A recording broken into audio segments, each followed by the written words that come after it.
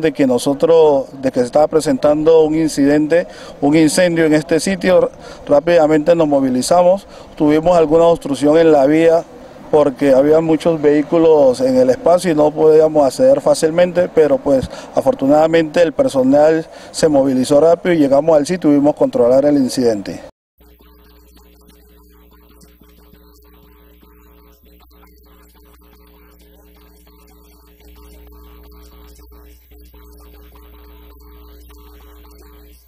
Pues la verdad es que en el momento eh, la localidad no tiene, el establecimiento no tiene el certificado de seguridad contra incendios. Ese es un, documento que por ley, la, ley 1575 lo estableció para que todos los establecimientos abiertos al público cumplan con ese requisito que establece la norma. y nosotros procedemos bajo una inspección técnica de seguridad donde revisamos todo lo que tenga que ver la materia de seguridad contra incendios y con eso y prácticamente con la seguridad humana.